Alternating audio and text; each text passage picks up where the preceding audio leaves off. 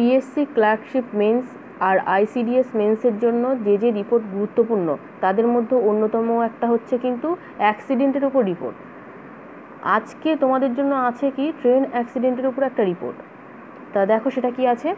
A deadly collision between two trains near Toparia station a deadly মানে কি একটা সাংঘাতিক কলিশন মানে কি মুখোমুখি সংঘর্ষ বলতে পারো? বিটুইন টু ট্রেনস দুটো ট্রেনের মুখোমুখি সংঘর্ষ হয়েছে টোপারিয়া স্টেশনের কাছে। বাই স্পেশাল কোরসপন্ডেন্ট মানে বিশেষ প্রতিনিধি দ্বারা।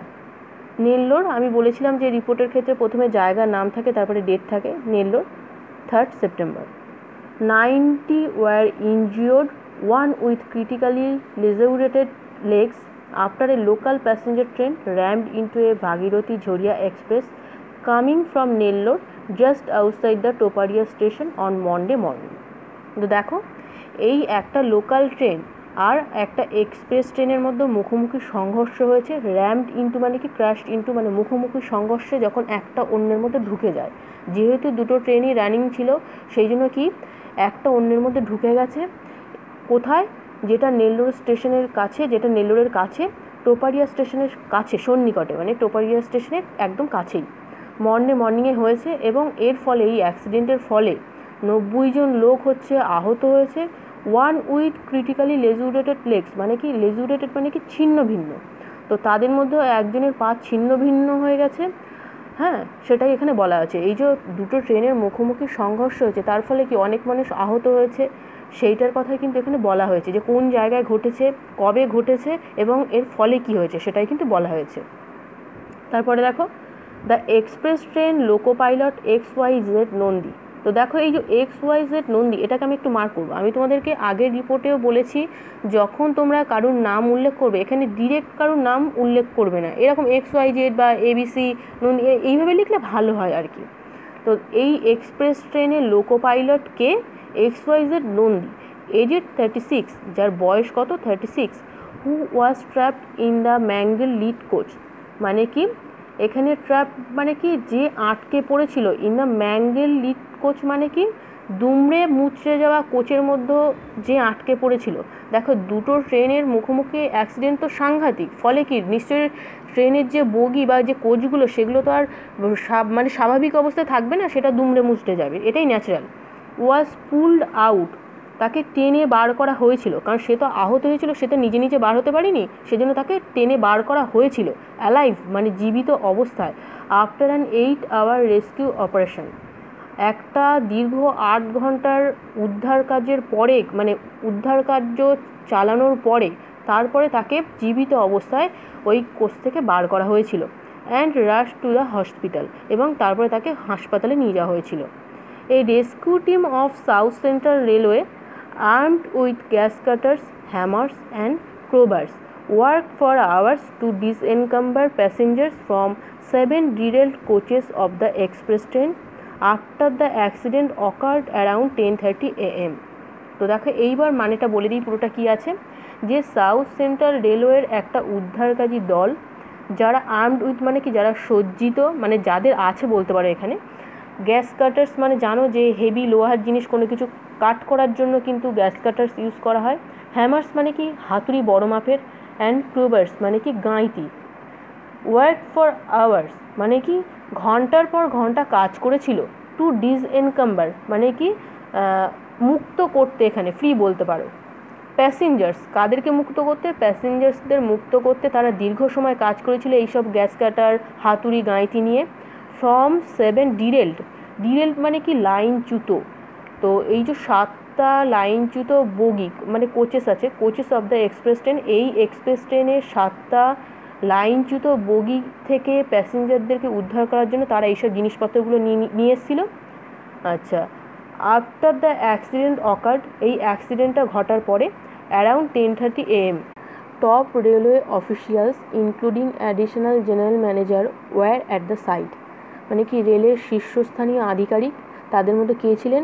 Additional general manager were at the site মানে কি, ওই দুর্ঘটনাস্থলে তিনি ছিলেন।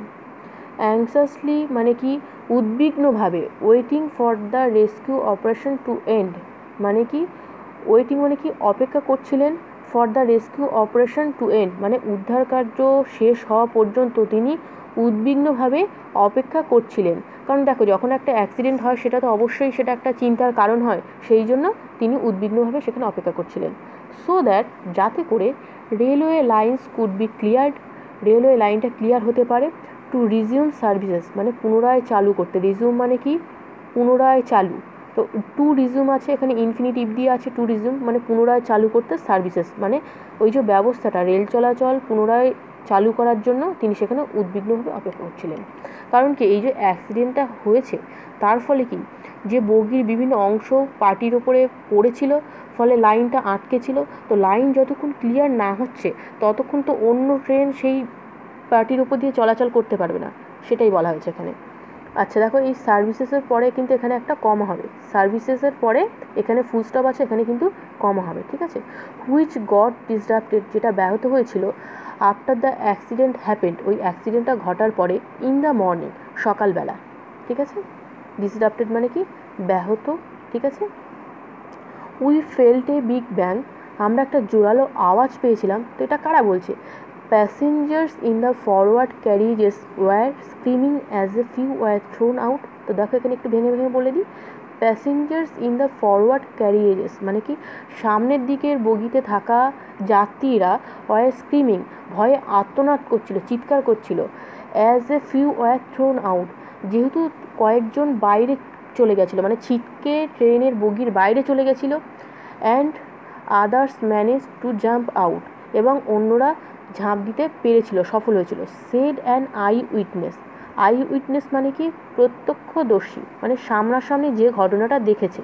তো এই যে ওয়ার্ডগুলো ডিসডাপ্টেড আই উইটনেস এই ওয়ার্ডগুলো স্ক্রিমিং এই ওয়ার্ডগুলো তোমরা কিন্তু নোট করো। কারণ যখন অ্যাক্সিডেন্টের উপর বেস করে তোমরা রিপোর্ট লিখবে, তখন কিন্তু এই ওয়ার্ডগুলো তোমরা অ্যাপ্লাই করতে পারবে। তো দেখো, এই যে অ্যাক্সিডেন্টটা হয়েছে, দুটো ট্রেনের যেহেতু মুখোমুখি ধাক্কা লেগেছে, সেই জন্য কি একটা বগি দুটো স্বাভাবিকভাবে খুব জোরে কেঁপে উঠবে, ফলে কি যাত্রীরা, যার ফলেই কিন্তু সেই ধাক্কার ফলেই কিন্তু বগির বাইরে ছিটকে চলে গেছে। অনেকে হয়তো দরজার কাছে দাঁড়িয়ে থাকে, তারাই পড়ে গেছে আর কি, এরকম ব্যাপার। আচ্ছা এরপরে দেখো। The cause of the accident as an official reported was a manual error তো এই অ্যাক্সিডেন্টের কারণ কি? একজন অফিসিয়াল রিপোর্ট করেছেন।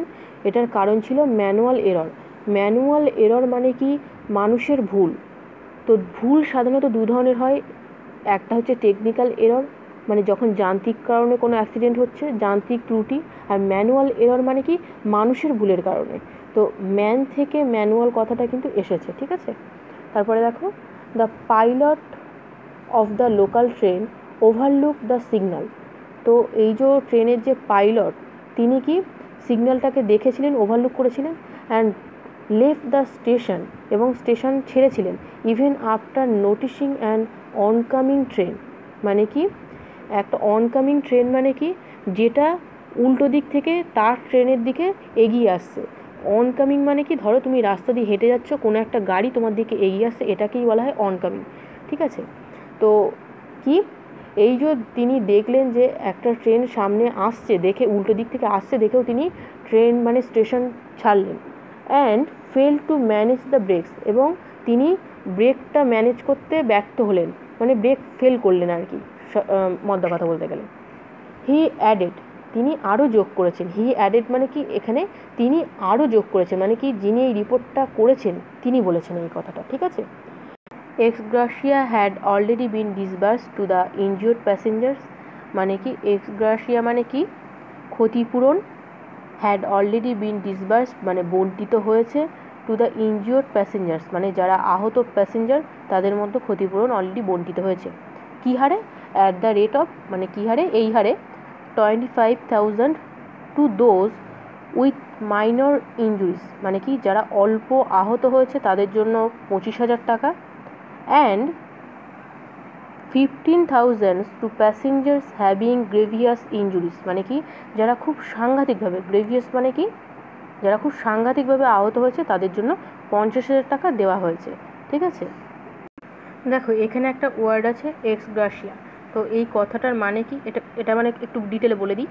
দেখো, আমি বলেছি ক্ষতিপূরণ, ঠিক আছে? তো কী ধরনের ক্ষতিপূরণ? এই যে অ্যাক্সিডেন্টটা হয়েছে, তার জন্য যে সরকার ক্ষতিপূরণ দিচ্ছে, এটা কিন্তু কোনো সংবিধানে কোথাও বলা নেই। সরকার দিতে বাধ্য নয়, কিন্তু নিজের ইচ্ছায় দিচ্ছে।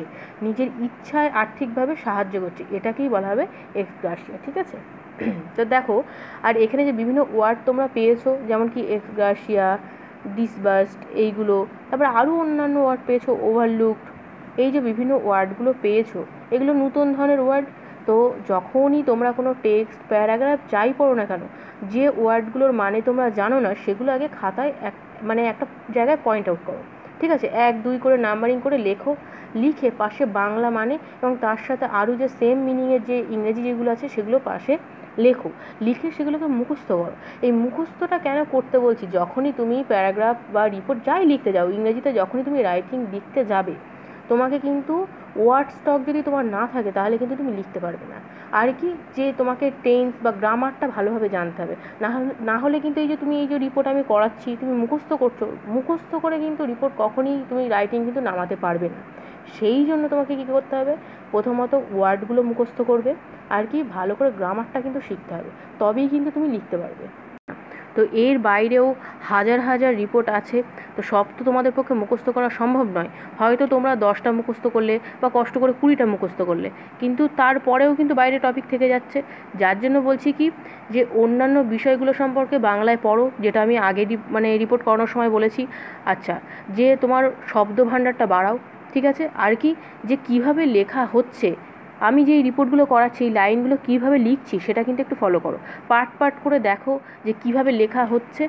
তাহলে কি তুমি যখন এই রকম অনেকগুলো রিপোর্ট ফলো করবে, তখন হয়তো তুমি একটা বাক্য লিখতে পারছ বা একটা রিপোর্ট লিখতে পারছ। সেই জন্য বলছি, যেগুলো বলছি, সেগুলো কিন্তু অবশ্যই করো। আর এটা ক্যাজুয়ালি নিও না, খাতায় কিন্তু ওয়ার্ডগুলো একটা খাতা করো, নির্দিষ্ট একটা ডায়েরি করো বা খাতা করো, করে সেখানে যে ওয়ার্ডগুলো তোমার কাছে অজানা, সেগুলো খাতায় বা ডায়েরিতে লেখো পরপর। লিখে কি করো, সেগুলো বাংলা মানেটা লেখো, লিখে মুখস্থ করো। এভাবেই কিন্তু ওয়ার্ড স্টক কিন্তু তুমি বাড়াতে পারবে, ঠিক আছে? আর আজকে আমাদের ভিডিওটা এই পর্যন্তই থাকছে, আর নিচে আমি পিডিএফ দিয়ে রাখছি, সেটা তোমরা ডাউনলোড করে নিও। ধন্যবাদ।